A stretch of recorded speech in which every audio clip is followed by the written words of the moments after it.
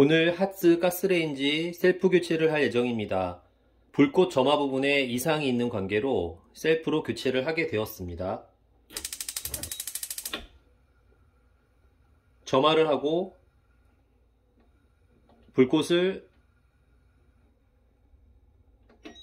세기 조절을 하다 보면 이렇게 자동으로 가스가 차단돼 버리는 불량이 있고요.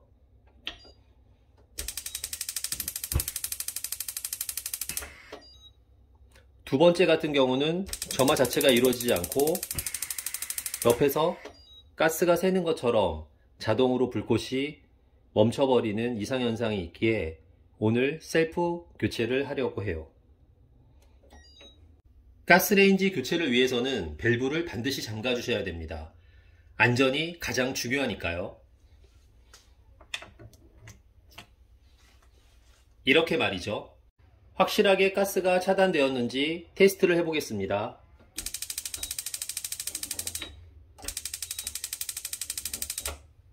이제 안전한 탈거가 가능할 것 같아요. 가스레인지 분리를 시작해 보겠습니다.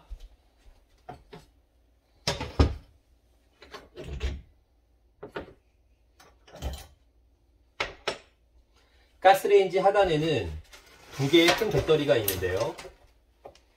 배터리도 빼주겠습니다. 오랫동안 사용하여 가스레인지 주변이 매우 지저분하기 때문에 가스레인지를 완전히 탈거한 후에는 깨끗하게 청소를 해야겠죠. 가스레인지와 연결되어 있는 호스는 플라이어라고 하는 도구를 이용하여 쉽게 제거가 가능합니다.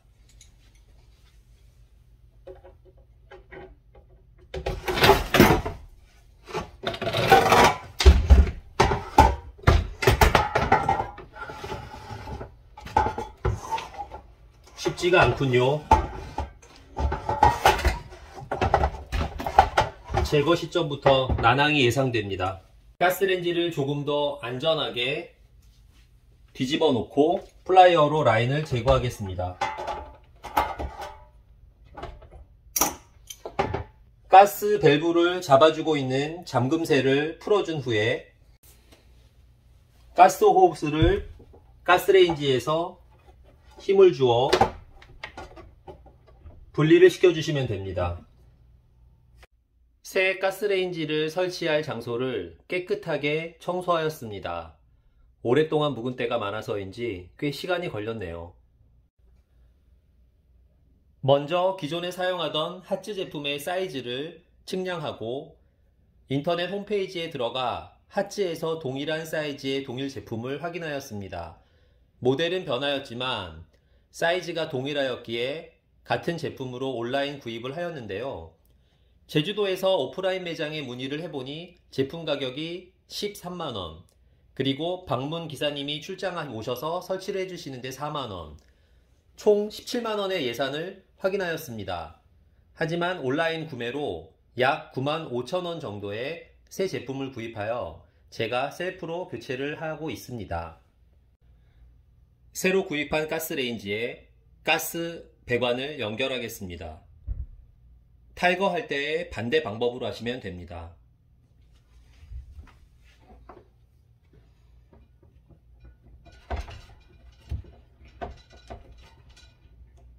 호스를 끝까지 잘 밀어 넣으신 후에 탈거할 때 사용하였던 플라이어 공구를 이용하여 잠금 장치를 안전하게 배관이 연결되어 있는 부위까지 가져다 놓습니다.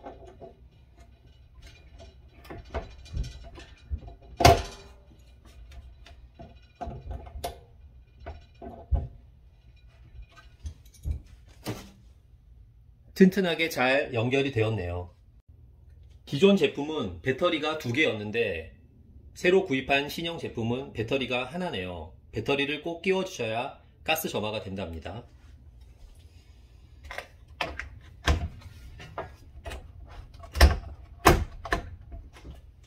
배터리는 용량이 오래가는 그리고 조금 더 신뢰할 수 있는 듀라셀 제품을 사용하였습니다.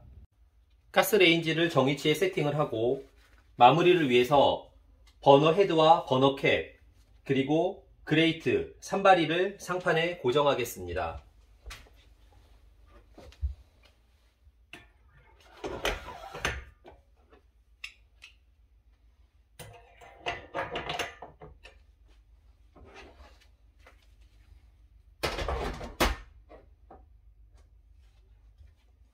자, 이렇게 하여 가스레인지 교체는 완료가 되었고 테스트 점화를 해보겠습니다.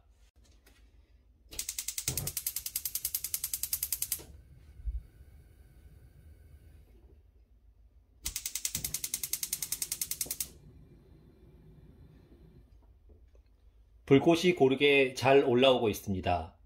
하츠 가스레인지 셀프 교체 완성!